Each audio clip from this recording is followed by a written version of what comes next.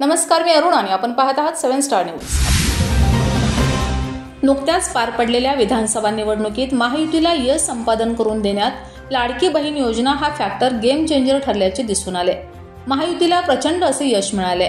निवडणुकीपूर्वी महायुती सरकारने लाडकी बहीण योजना लागू केली होती. त्यानुसार पात्र महिलांना महिना पंधराशे रुपये मिळाले होते. निवडणुकीपूर्वी राज्यातील महिलांना पाच हप्ते मिळाले होते. मुख्यमंत्री एकनाथ शिंदे यांनी निवडणुकीपूर्वी या योजनेमध्ये आता पंधराशे ऐवजी एकवीसशे रुपये मिळणार असे आश्वासन दिलं होतं. मात्र आता शासनाने योजनेचे पूर्ण निकष लागू केले आहेत.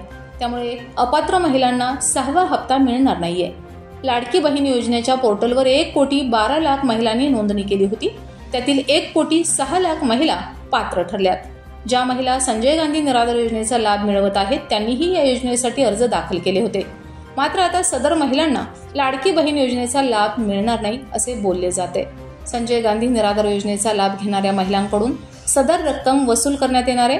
राज्यातील विवाहित विधवा घटस्फोटित परितक्त्या आणि निराधार महिला तसेच कुटुंबातील केवळ एक अविवाहित महिला असेल तर सदर योजनेचा लाभ मिळणार आहे.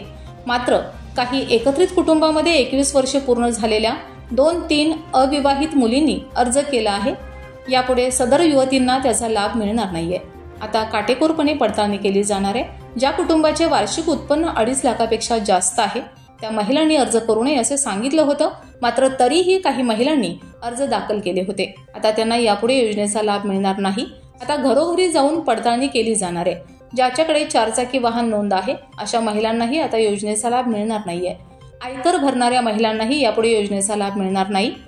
शासनाच्या कोणत्याही विभागामार्फत दीड हजार रुपये मिळत असल्यास त्या महिलांना या योजनेचा लाभ मिळणार नाहीये. सर्व अर्जाची आता फिर तपासणी केली जाणार आहे. Double door fridge washing machine sports bike चारचाकी वाहन दिसून आल्यास सदर योजनेचा लाभ मिळणार नाहीये. Bureau report seven star news.